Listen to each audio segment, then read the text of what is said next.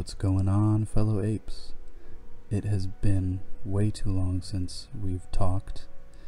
Um,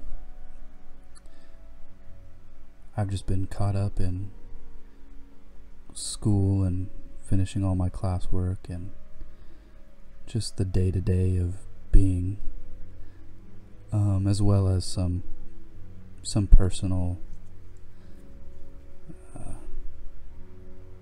some personal things that I've been needing to tend to and for myself and for those people around me. Um, but putting all that aside, I had a very uh, scripted out video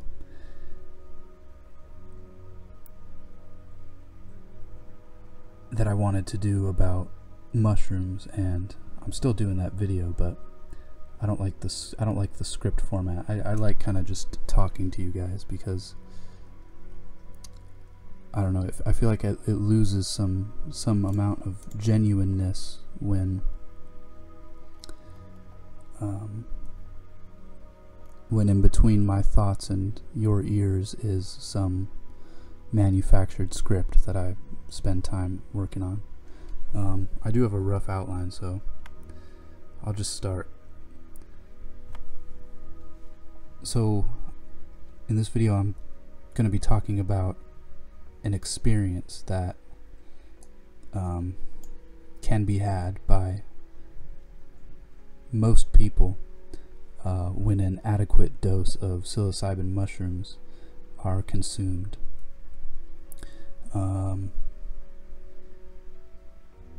by adequate dose, I mean it's often referred to as a heroic dose or something along those lines, but I really don't like using those terms because if you look up heroic dose, there is like there's like a set amount they'll tell you, like four to six grams or whatever. But personally, and in talking to a lot of people who have done uh, mushrooms and had these types of experiences, um, the dose doesn't matter. The dose person to person doesn't matter. The dose that you take and you know is your proper dose obviously matters to you, but I'm not going to sit here and tell you that five grams is going to be enough for you or going to be not too much for you because for some people it's not enough and for some people it's too much. Um, there's a balance and there's a there's a certain working your way up that is necessary uh, to find to find this experience in a way that isn't mm, corrosive to your to you to your brain and to your to your mind to yourself. Um, so I think my advice for finding this experience would be start as low as you can, a gram or whatever, and just keep adding half a gram every two weeks for a trip. That's it. You'll you'll notice that uh, not only will you become more accustomed to that state slowly uh, and more gently, but you'll also not be overwhelmed during your first trip because I've seen some people go crazy taking way too much um, for their first time. So it's definitely something that needs to be respected. So, what is this experience I'm even talking about? Um, well, that's a very loaded question, and I think most of history has been an attempt to explain this experience. But just so we can all start on the same page, it's often referred to as a mystical experience or, um, man, I really don't know what you would call it. An enlightening, uh, otherworldly meeting of an other intelligence, a quote unquote breakthrough uh, to some other thing outside, completely outside of our reality.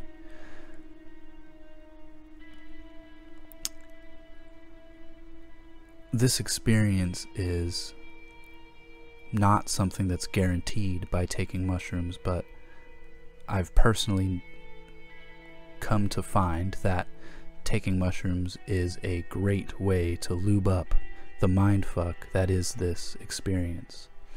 Um, and just to get a little bit, uh, just to get a little bit scripty and technical on you guys, um, I'm gonna put up a picture here that I'm sure most of us have seen, and I'm just gonna talk a little bit about what psilocybin is and does, uh, according to some website.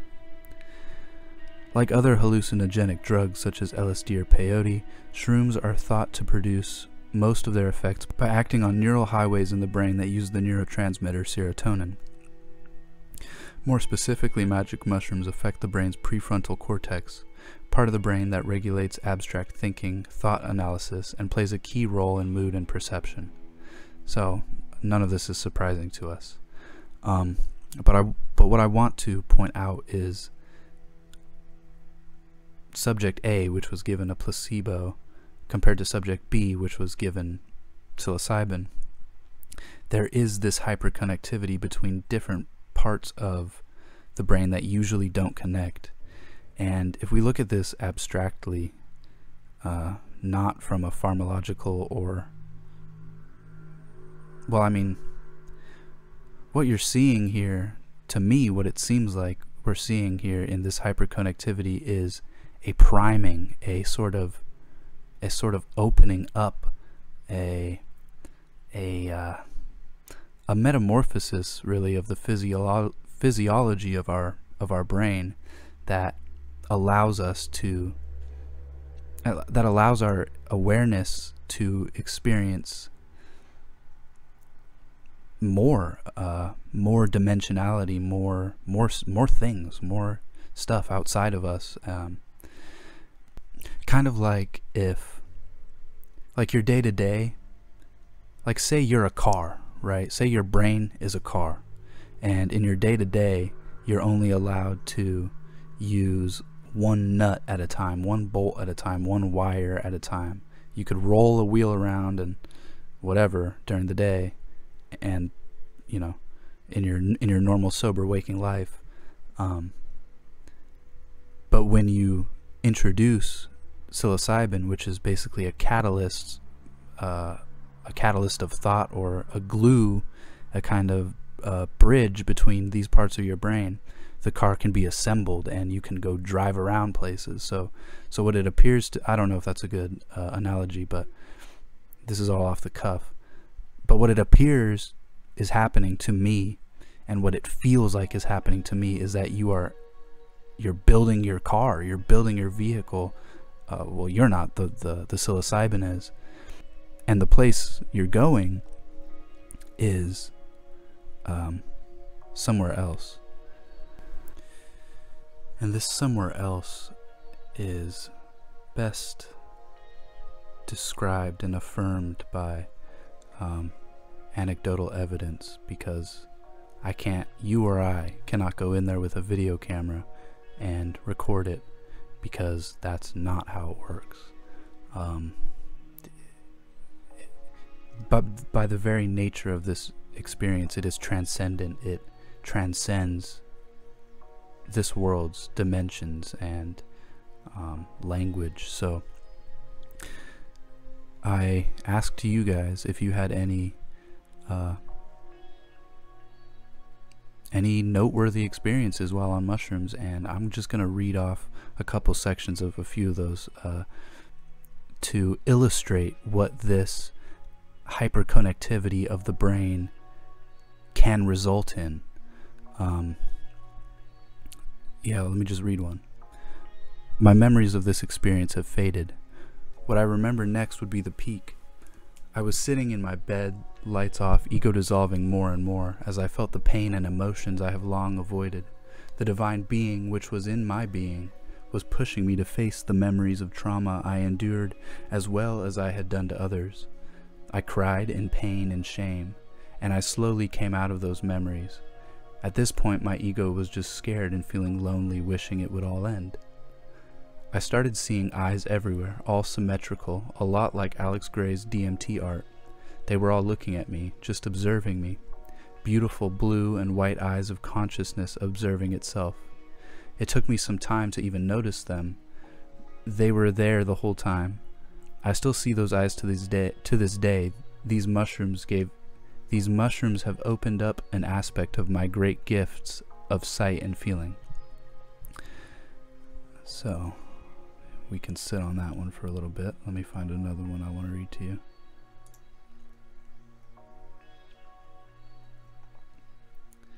Um, I'm just gonna I'm just gonna sh shoot off little snippets. Here's another one. And then I started to experience another traumatic relived memory. So this is a this is a separate one from the one I just read. So notice the similarities. Uh, started to experience another traumatic relived memory at the peak of my trip because I went somewhere where the only thing that brought me back was physical intimacy with my fiance, and just that experience in itself was so beautiful words cannot fully describe it at all. I felt words cannot fully describe all I felt through that. One of the most amazing, very vulnerable, intimate experiences I've ever had with anybody, including my own self. Felt like we had merged and created a sort of iridescence through our physical and mental connection during that. After we did that, I was back to my normal speaking self, still feeling the potent haze of the mushrooms, but able to speak and move my body consciously now. Okay.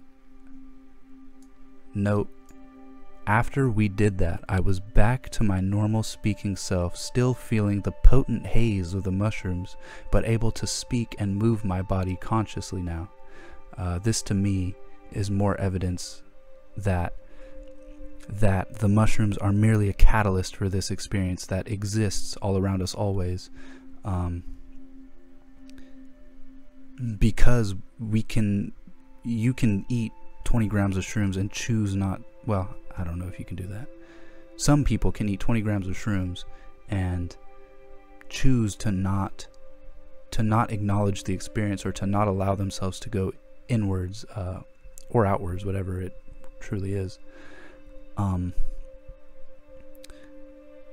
but introducing the the chemical is kind of like just opening the door and it's up to you to step through that. You can step through you can go all the way in.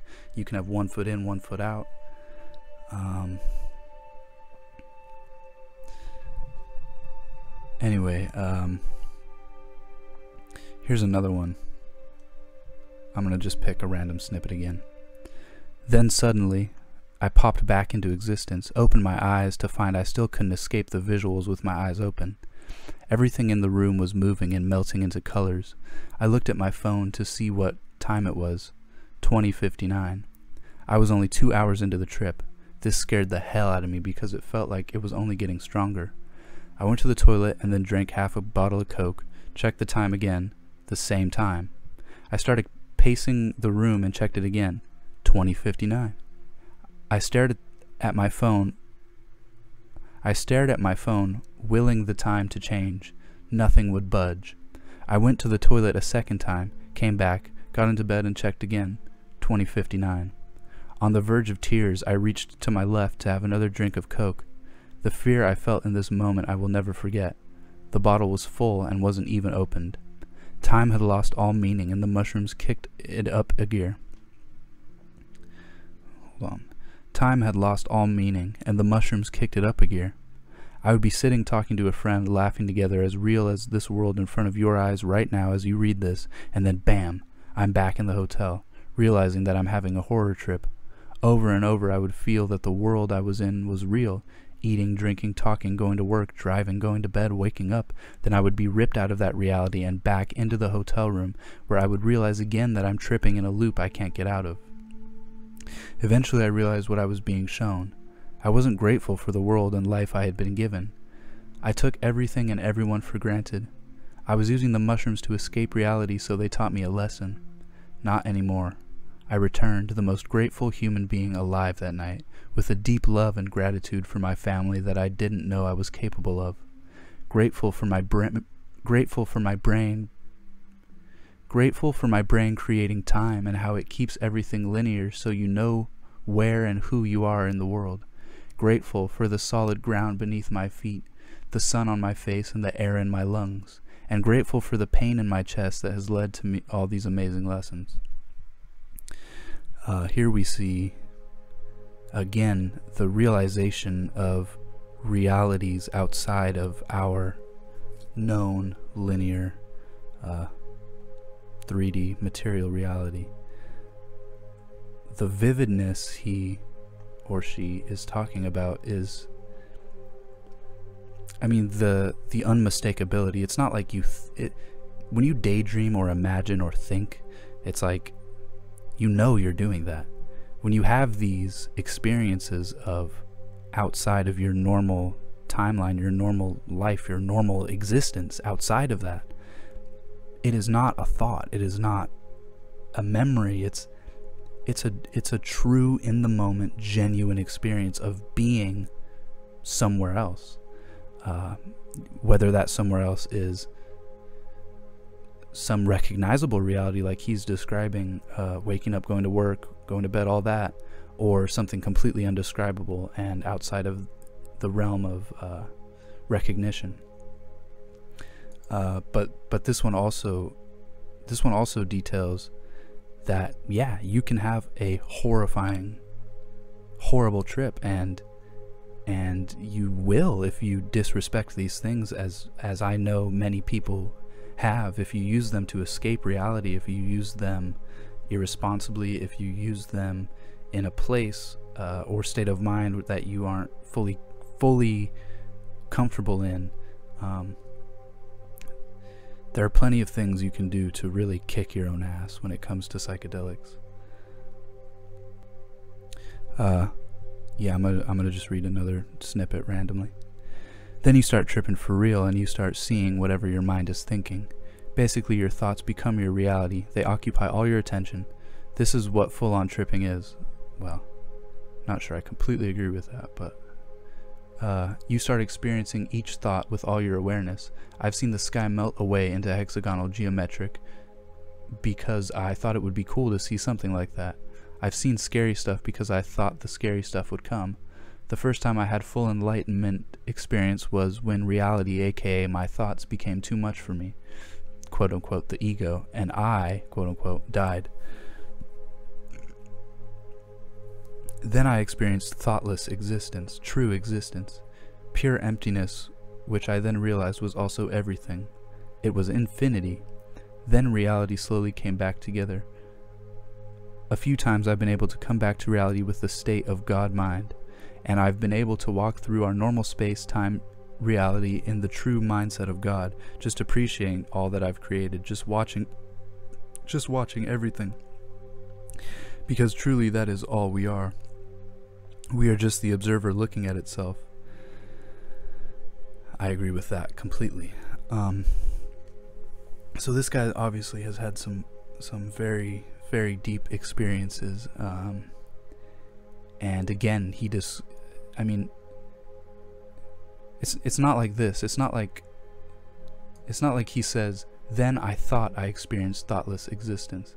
It's an undeniable it's undeniable. He experienced thoughtless existence, and I don't doubt him for a second. Um, and we can really dive into what this means, but this video would be hours and hours. Um, so, just reading through a lot of these comments. Well, let me just do one more. A long time ago, I was high after a party, and before sleep started, before sleep, I started to search on YouTube things to listen to while I fell asleep. I closed my eyes and started a video named, quote, Message for Humanity. That's my video. I saved that long time ago because I knew I would love to listen to it while high. It was amazing. I had my eyes closed, my body was in a complete state of relaxation, and with my eyes closed, I saw beside me a man that told me a story a man who talked with me like I was his friend, who told me stories while I fell asleep. I know it sounds crazy. I watched all of your videos, and from time to time, I like to listen to one or two before I fall asleep. Uh, yeah, yeah, yeah. So that's pretty much most of his experience. Um, but again, here's this archetype of an other. Uh, uh, I saw beside me a man tell me a story, man who talked like I was his friend, tell me stories while I fell asleep. Um, there's definitely a a communication that happens and this communication is inherently so deep and intricate that it can be interpreted in many different ways. Uh, a lot of people report a voice or just an intuition or a full on conversation with an alien entity. Um, had around, here's another one. Had around 1.5 to 2 grams of shrooms, didn't measure. I ended up thinking I had at least two consciousnesses in my body for my whole life. Well, that's funny, especially uh, because what I just said. Uh, so, so the way I interpret his interpretation is that he was in the midst of this great separate other intelligence, but I mean, it's like you can only experience what you what you are willing to, and if you are not willing or ready to meet an all knower, an all knower, and you know a galactic all knower, then you won't. You will just quote unquote have the feeling of at least two consciousnesses in your body for your whole life. Um, but I'm gonna keep reading. I walked through my memory lane and thanked all the trees for watching us grow up, even though we never noticed or cared about them. I sat down by a tree on my school perimeter, uh, and I wanted to connect with the tree and its story. I cried for all these trees for not giving them the love they deserved and thanked all of them. After thanking them, I realized humans seem to be disconnected from reality and nature as we live in our own heads and create this fake persona for others. Hence why humans are so uptight and out of touch with nature at times. Not to say that I'm any different. Uh, there's a lot, yeah, yeah. Um,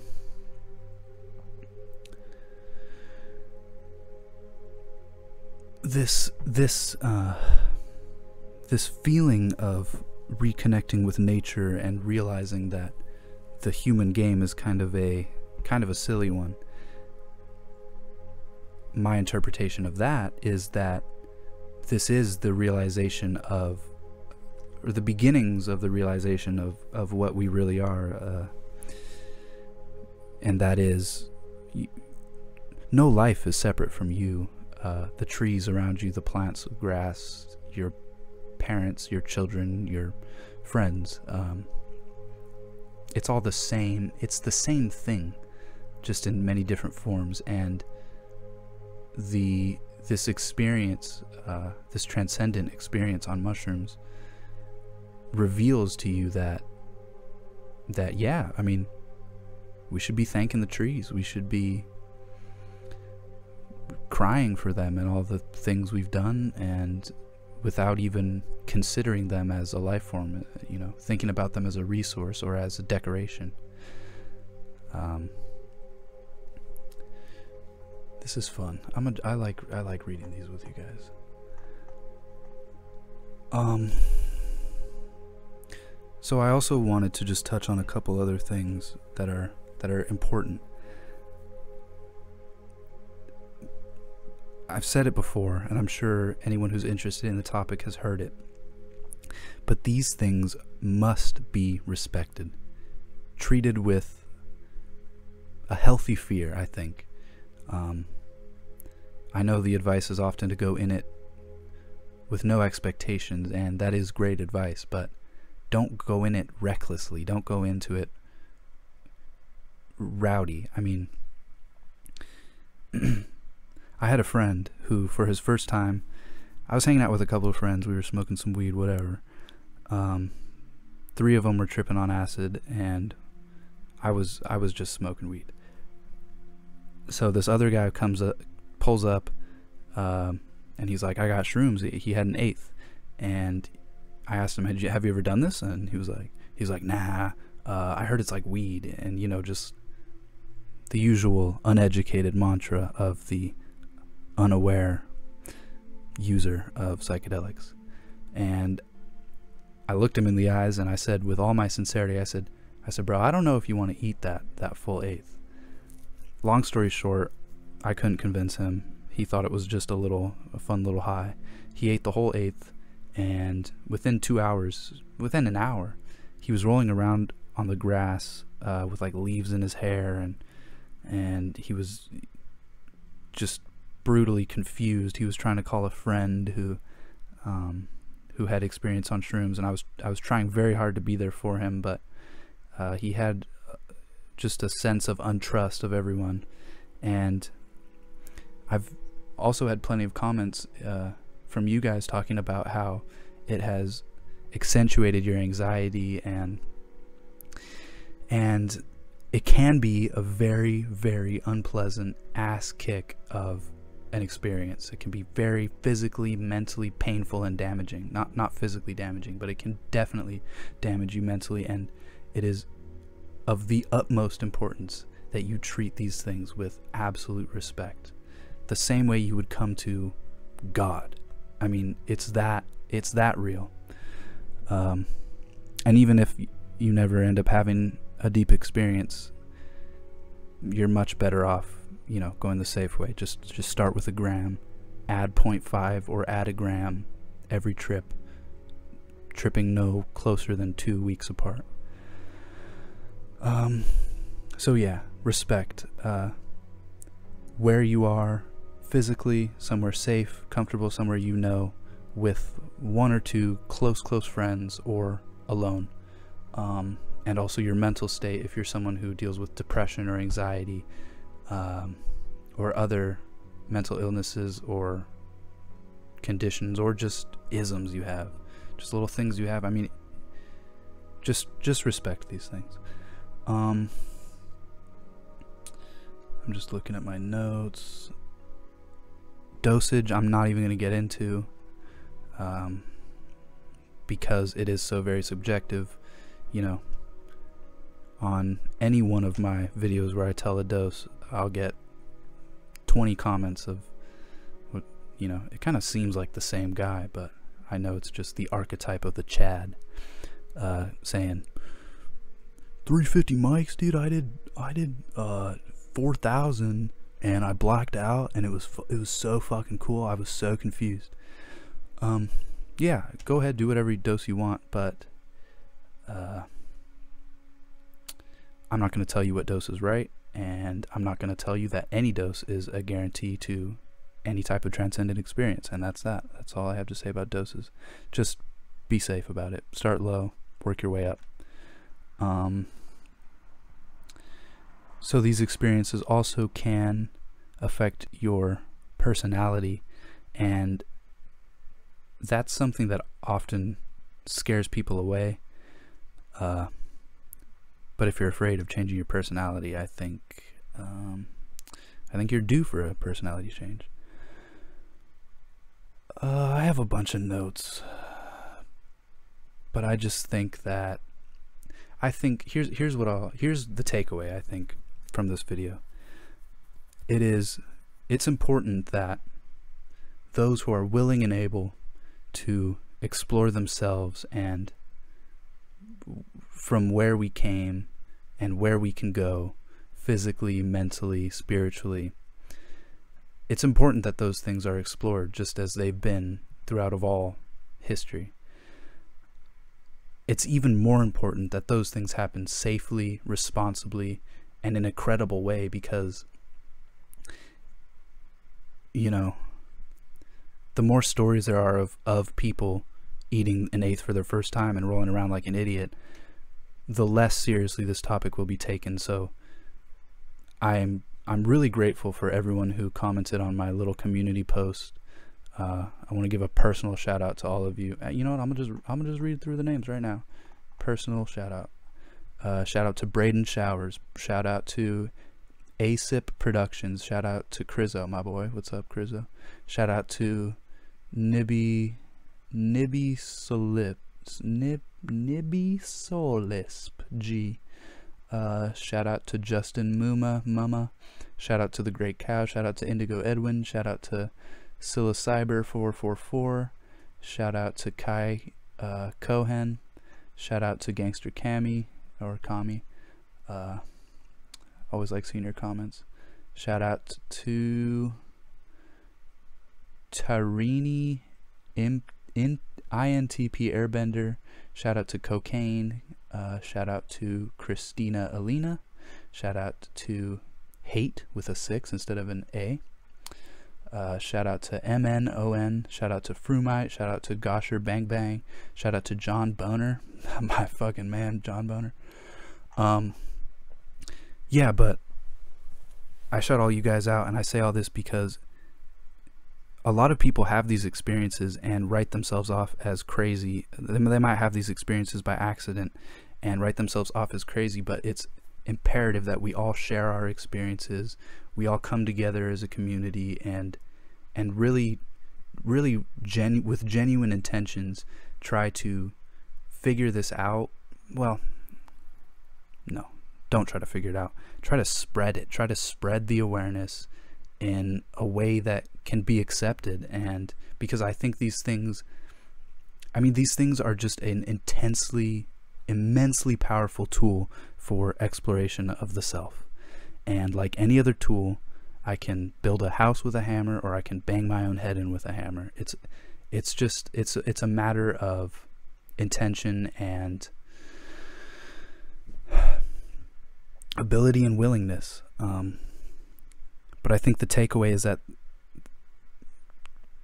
to keep exploring in a safe way, in a credible way, to share what we find on these explorations, and to keep painting the picture of what the psychedelic experience is and has to offer to us as individuals and to society as a collective.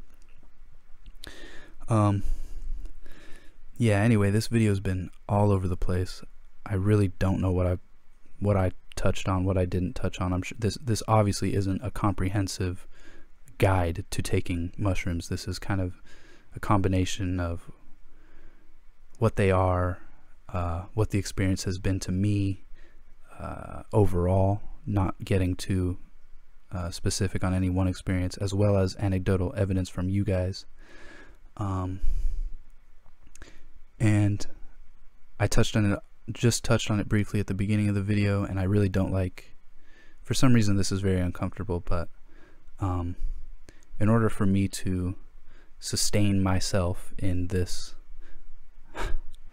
culture, uh, in this society, uh, I need money.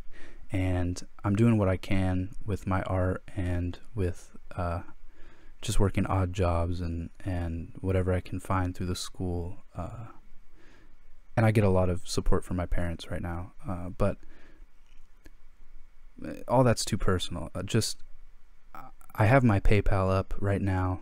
Um, I'm not asking for money by any means. I'm not asking for money. Uh, I just know there are a lot of people who have contacted me and offered to donate. And um, if you if that's something you want to do, you can do it. I'm not asking you to. Uh, I'm just saying that that's there and I'm putting it up here because I, I would like to make this uh, at least I would like to increase the uh, quality as well as volume of videos I output to you guys um, and the only real way I can do that is to have some some sort of passive income coming from this because uh, otherwise my energy just just because just to survive is going to be on other ways of making money. Um, I haven't made anything from YouTube so I'll try this but again I'm not asking for money I've been rambling for 35 minutes so uh, I love all you guys uh, if you've made it this far thank you again so much like always, uh, just keep going. Keep keep going forward. I'm right here next to you. We're all doing it. No worries. No worries. It's all good. Love you guys. See you next time.